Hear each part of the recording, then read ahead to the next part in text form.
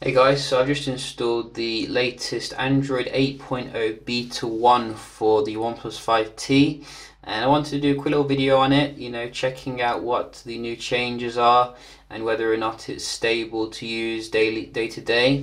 Uh, so in terms of the actual patch level, you will find that you are now on, I think, pretty much the latest uh, patch level, so that is December, nice and secure.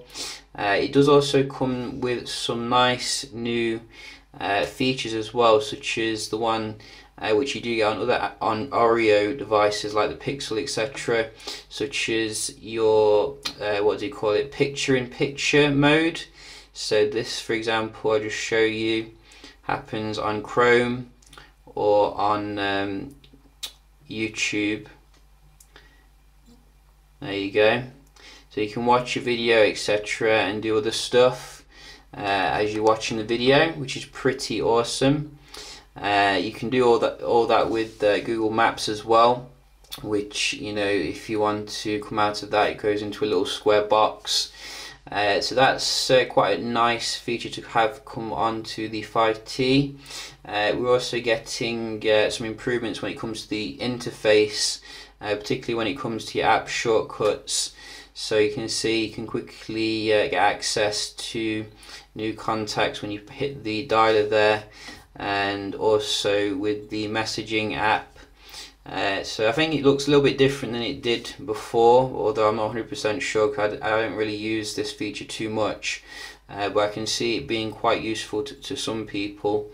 Uh, also in terms of the selecting a text. Apparently it's a little bit quicker now to do things so if you just select some text here you can see it comes up with all the options in one go. So you can quickly web search uh, as opposed to clicking once or twice or something. So that's quite nice.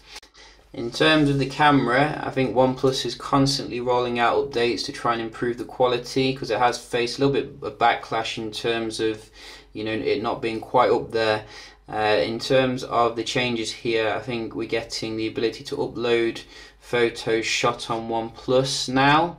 Uh, so you can actually put on the shot on OnePlus uh, like a watermark uh, and then it will appear on the photos. I'm not 100% sure of how to upload it though. It's like uh, it's not essentially that clear but you know maybe you know uh, you can actually put your name there as well if you want uh, if you want to you know have that. In terms of the actual quality I've found that the, the, the, the pictures are very acceptable in uh, you know decent lighting. It's just the low light where it, it kind of falls down doesn't really live up to the height. Uh, but I think they are you know continually trying to improve it which is good. Uh, other things to consider they've added uh, something called war, uh, autofill uh, so I think that's basically like if you're putting in your information in forms and things like that, it should be a lot quicker now, uh, which is quite good. Uh, so I think those are the main things here. You know, it's good that they're continually uh, updating the phone very quickly. Uh, as I said, in terms of the stability, I've not seen too many problems. Everything seems to work as it should, like in terms of the video recording as well. Uh, so it's up to you whether you want to try it out or not. I think it's quite easy to get on uh, and give it a go. You can always go back to uh, Nougat, you know, if it doesn't work out for you. But uh, just a quick video checking out Oreo here on the OnePlus 5T. Uh, if you have any questions, you let me know. Hope you found the video helpful, and I'll see you in the next one. Cheers.